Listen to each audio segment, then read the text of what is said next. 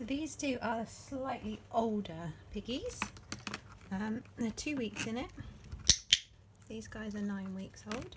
This is their second clicker session. And you can see they're much more happy forthcoming. Even looking for it.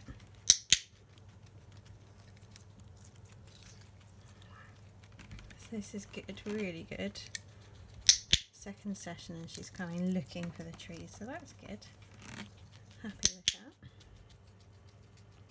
Keep kicking my finger though, she's a little bit naughty.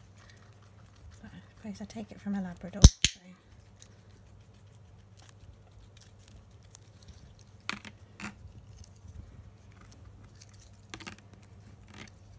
So the reason I'm doing this in pairs is because they're happier when they're out together. It does make it a little bit less precise because obviously I'm clicking and only one's getting a treat, but it actually allows them to be happy enough to take the treat. So that's more useful in this circumstance.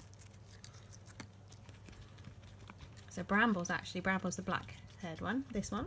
She's coming looking for the treat, which is lovely. And Bluebell, when she heard the click, came looking for the treat as well. So that's really good. And now they're fighting over it. So I might have to use both hands in a second. Don't want the finger. There we go.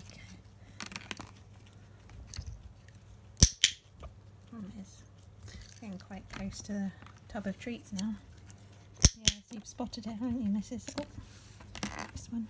No, you can't just help yourself. That's not the idea. Bluebell.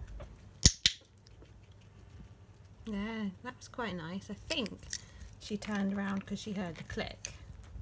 Should be really useful if they're already putting two and two together. That'll be awesome.